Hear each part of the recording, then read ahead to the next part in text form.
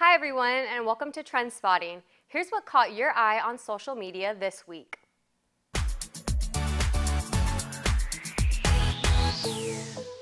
Over the weekend, 15 year old teen Tamika Nauta was found dead at her home in Dededo. An autopsy ruled the death as a homicide. The violent crime shook the community, and Chief of Police J.I. Cruz vowed to catch the killer at all costs. Many of you issued your condolences for the tragic loss, and others also showed their faith in GPD to apprehend the people responsible.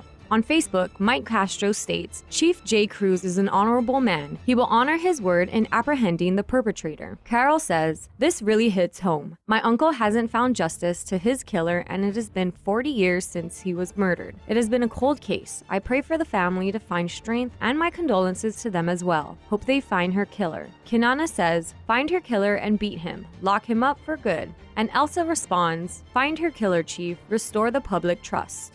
The woes of GMH continue as a survey reported conducted by the Center of Medicare and Medicaid Services provided a scathing 80 page review that adversely affect patient health and safety. GMH Administrator Peter John Camacho told senators in an oversight hearing that the hospital had responded to the report. The island can now only wait to see if the response is deemed satisfactory for the CMS. Our viewers took to the comments to respond. Here's what they said.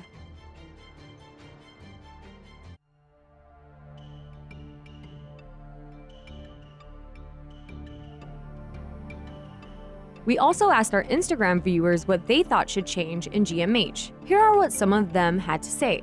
One said, Why are there four medical directors? Another says, Change the management to many excuses, not enough action. And one says we should privatize it.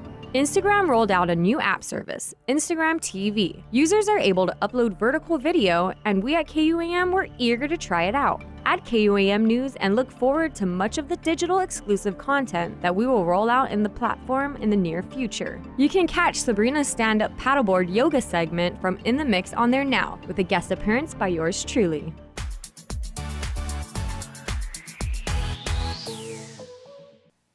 Thanks for joining us. Catch us next week for more trend spotting.